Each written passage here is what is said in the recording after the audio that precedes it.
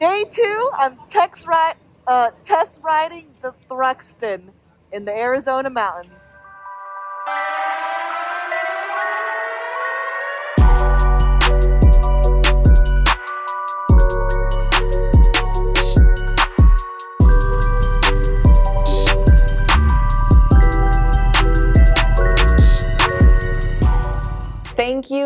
So much to Triumph for flying me to Arizona to test ride your bikes, including the one of my dream bikes. Yes, I do have like 12 dream bikes. We're only going to talk about one of them in this video, the Triumph Thruxton RS 2020. So this is going to be the last video in my Triumph Immersion series where I talk about the whole event, what it was in a nutshell. Triumph invited 40 influencers, including YouTubers, photographers, journalists, uh, me, to go to Arizona and test ride their newest line of bikes through the city of Tucson and Arizona mountains. It was the best 24 hours of my life. I know a lot of you are going to think that anything good I have to say about this bike is because Triumph flew me to Arizona to test ride these bikes. Um, this is an egg before the chicken kind of scenario. Triumph flew me to Arizona because I was already obsessed with Triumph engines after test riding over 10 bikes in 2017 because I'm a nutcase and wanted to test ride as many bikes as possible before I upgraded and found that more than all the bikes I test rode, Triumphs are the smoothest. They're my favorite bikes and I'm a little psychotically obsessed with them and that's why I went on this trip. Oh no, there we go.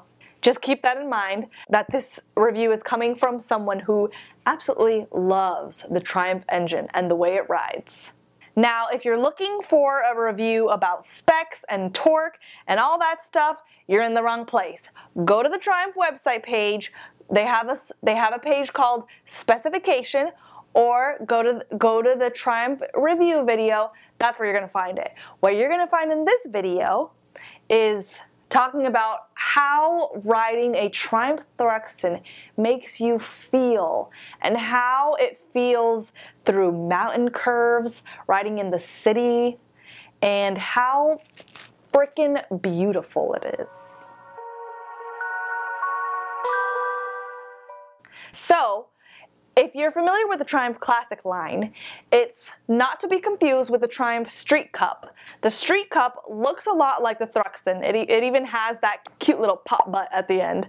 But the Triumph Street Cup is 800cc and the Thruxton is 1200cc. I confused the two for a while and I was very embarrassed to admit that the only bikes that look this gorgeous are old cafe racer bikes. So they've become recently really popular, uh, especially in movies.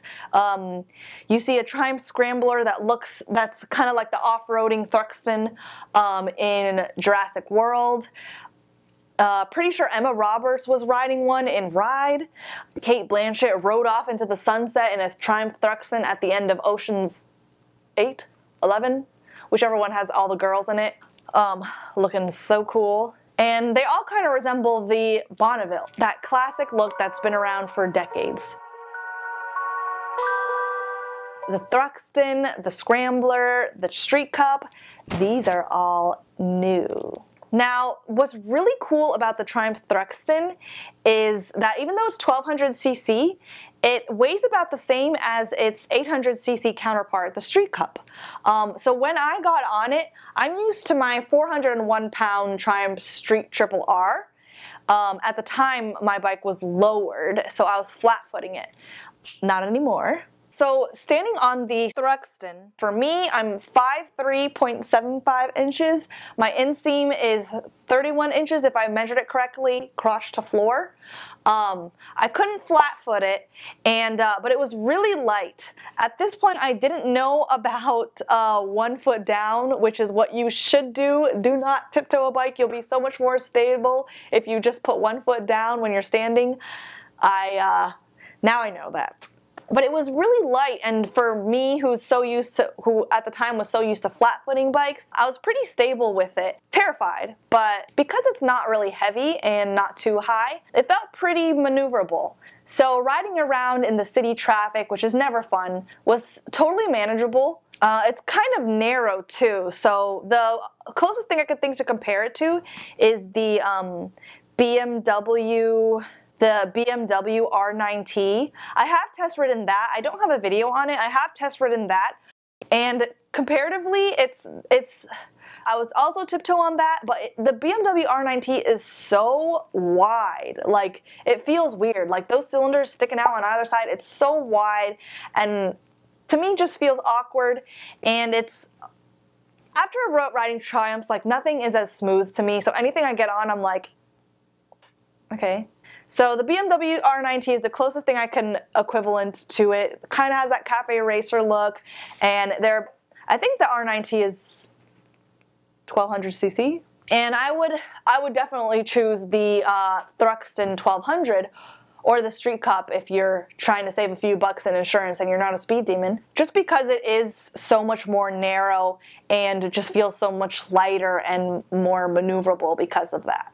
In this picture, we're kind of off-road, but we didn't really ride there. We just kind of pulled the bikes in. So I learned this the hard way a few years ago. Don't use your front brake whenever you go on gravel or you're going down.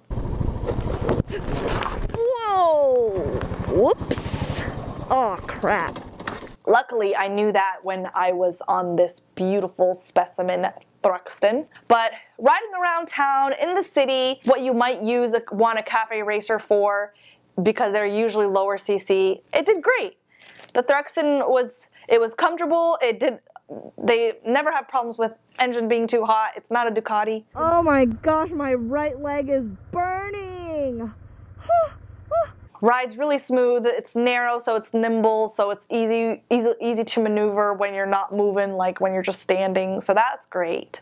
And then we took it through some curvier roads out of town, and again, it, it just feels so nimble and smooth. So it did great there too. So that's probably the other thing that if you want to ride around in the city, some people that go for cafe racers just ride around with it in the city. They're old, usually these really vintage bikes don't do well on like at highway speeds or um, far off in the if you want to go out far in the country or do curvy roads because they're just not very maneuverable and smooth and sometimes they break down a lot. So that's the great thing about getting a new classic out of the Triumph line.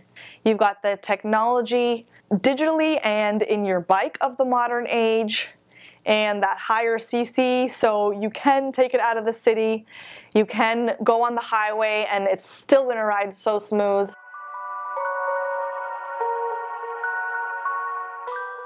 This one, oh, this one doesn't even have a windscreen I just realized.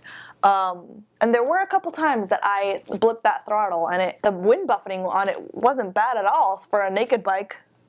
I just realized that now. So that was cool. So the person that I could see getting a Triumph Thruxton would be someone who has a slightly more upscale taste, maybe likes a little bit of luxury. Triumphs are, I would consider them a luxury brand. I don't know if anyone else does, but I do. Yeah, my 6,000 mile service, $700 makes it feel like it was. Now this is not, obviously not a bike that you're going to be ripping on the track and taking to a lot of slow speed skills and hopefully not roughing it up around dirt and stuff because look how beautiful it is. I would think this is for someone who would kind of want to use it as a commuter although it is comfortable, maybe not necessarily very long trips or camping or stuff like that, um, but someone who wants a nice, a, a, a good, sexy looking commuter that'll do great on the highway, great around town, and you'll look good riding it too. If I had my my sport bike, uh, an off-road bike, if I ever learned to ride off-road, and one of the classic Triumphs like this Thruxton in my garage, if I had a garage, I wouldn't need anything else. Nothing else. If you want to see the other videos in the, the Triumph Immersion event, click this playlist right over here. And if you want to see a video that YouTube thinks you'll like, click right over here. Hope to see you in the next one. Bye.